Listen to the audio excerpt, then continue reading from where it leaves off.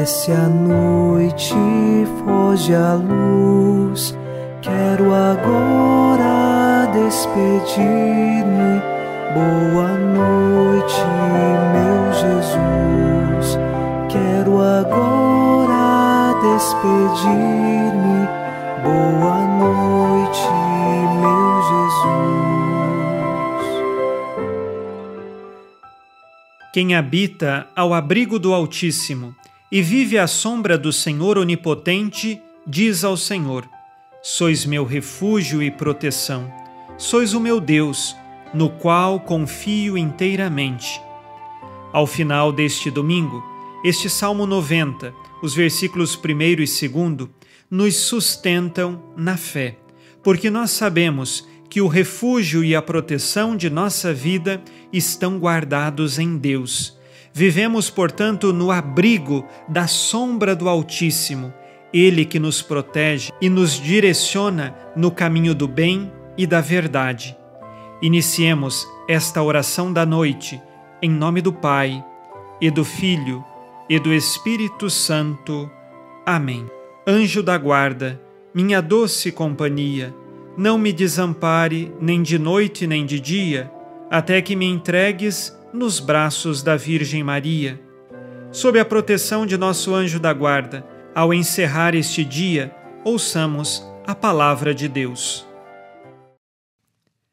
Leitura da carta de São Tiago, capítulo 1, versículos de 19 a 22. Sabeis, meus amados irmãos, que cada um deve ser pronto para ouvir, mas lento para falar e lento para se irar. Pois quem fica irado não realiza a justiça de Deus. Por essa razão, rejeitai toda a impureza e todos os excessos do mal, mas recebei com mansidão a palavra que em vós foi implantada e que é capaz de vos salvar. Sede praticantes da palavra e não meros ouvintes, enganando-vos a vós mesmos. Palavra do Senhor. Graças a Deus.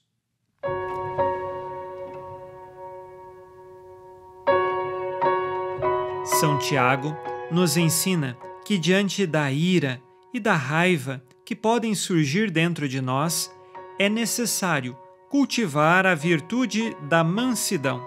E esta mansidão nada mais é do que uma suavidade, uma força interior que retém toda a ira, toda a raiva. Esta força interior, ela é também graça de Deus. Quando nós pedimos a Jesus que nos dê um coração manso e humilde, nós estamos pedindo esta força interior para agirmos contra a raiva, contra a ira que se desponta dentro de nós. Além do mais, São Tiago também nos pede o cuidado para com a maneira de falar, porque, irados, podemos falar coisas das quais não convém e também não demonstram o verdadeiro amor e a verdadeira caridade ao próximo. É necessário também pensarmos que Deus nos dá esta força através de Sua palavra. Quando então ouvimos a palavra de Deus e queremos colocá-la em prática, nada mais fazemos do que buscar as virtudes, e entre as virtudes está a mansidão. É triste ver pessoas que enganam-se a si mesmas. Elas gostam de ouvir pregações, gostam de ler talvez os livros da Bíblia, porque dizem assim: nossa, tudo isto é muito bonito, isto é encantador, eu sinto uma paz muito grande. Mas, pelo contrário, não vive a palavra não vive os mandamentos de Deus. Acha tudo bonito, mas não se esforça por passar pelo caminho da cruz e pelo caminho da vivência da palavra. Por isso, hoje, peçamos ao Espírito Santo que nos dê as virtudes, os dons que nos são necessários e, principalmente, a virtude da mansidão, para vivermos a palavra de Deus e não sermos meros ouvintes façamos o nosso exame de consciência. O Senhor disse: Amarás o Senhor teu Deus de todo o coração, de toda a tua alma e com toda a tua força. Tenho amado a Deus sobre todas as coisas? Escolho por Deus em primeiro lugar? Tenho buscado viver os mandamentos de Deus?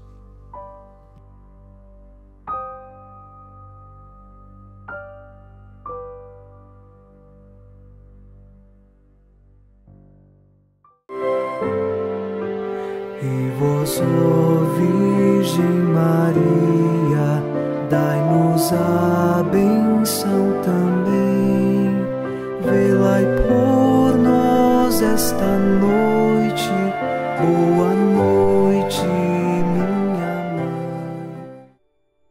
Neste domingo, unidos na fortaleza que vem do Espírito Santo e inspirados na promessa de Nossa Senhora, a Santa Matilde, rezemos as três Ave-Marias pedindo a perseverança final até o último dia de nossas vidas e que Maria, nossa mãe, nos livre de cair em pecado mortal.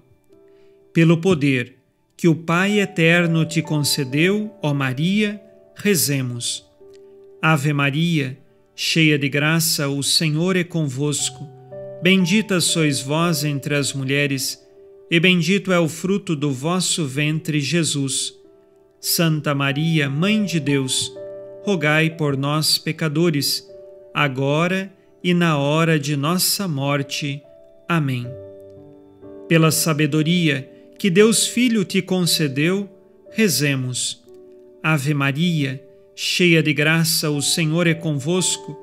Bendita sois vós entre as mulheres, e bendito é o fruto do vosso ventre, Jesus. Santa Maria, Mãe de Deus, rogai por nós, pecadores, agora e na hora de nossa morte. Amém. Pelo amor que o Espírito Santo te concedeu, rezemos. Ave Maria, cheia de graça, o Senhor é convosco. Bendita sois vós entre as mulheres, e bendito é o fruto do vosso ventre, Jesus. Santa Maria, Mãe de Deus, rogai por nós, pecadores, agora e na hora de nossa morte. Amém. Por vossa conceição imaculada, ó Maria, purificai nosso corpo e santificai nossa alma. Oremos. Ó Deus, que iluminais a noite e fazeis brilhar a luz depois das trevas. Concedei-nos passar esta noite livres do tentador, e ao raiar um novo dia, dar-vos graças em vossa presença. Isto vos pedimos por Cristo nosso Senhor. Amém. O Senhor esteja convosco, Ele está no meio de nós. A nossa proteção está no nome do Senhor, que fez o céu e a terra o Senhor Jesus Cristo esteja contigo para te proteger, esteja à tua frente para te conduzir e atrás de ti para te guardar. Olhe por ti, te conserve e te abençoe nesta noite. Amém.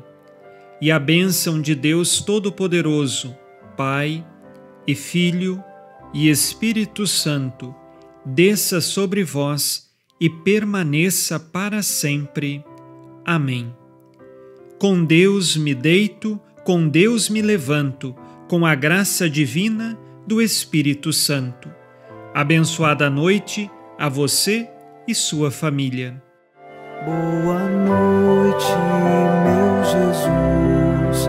Quero agora despedir-me. Boa